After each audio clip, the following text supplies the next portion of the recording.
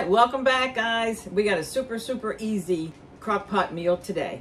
So what we're gonna do is we're gonna take one third cup of water and put it in our crock like that. This is only one potato. I sliced, peeled and sliced.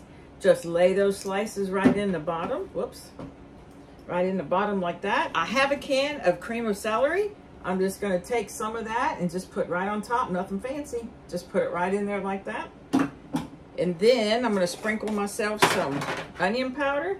I'm gonna get a little good flavor going on. Half a teaspoon, okay?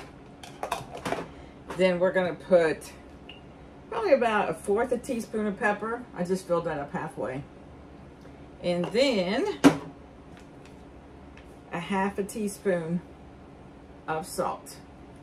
Okay, and then we have fresh ground beef here. This is six ounces, raw ground beef.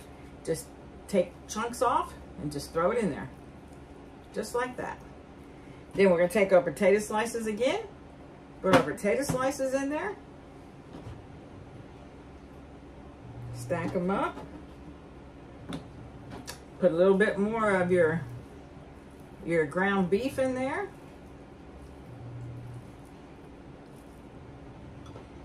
Then we're gonna finish with the can of cream of celery.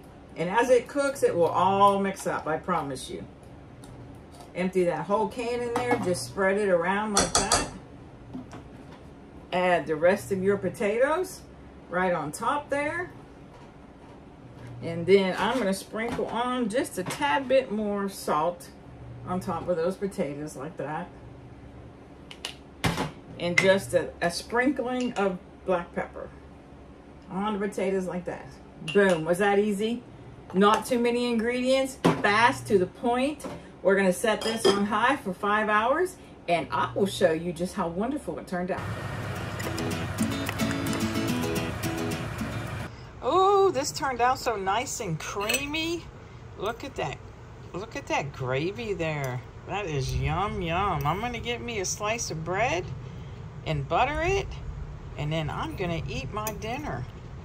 This was so easy and there's a lot of variations. Check the description.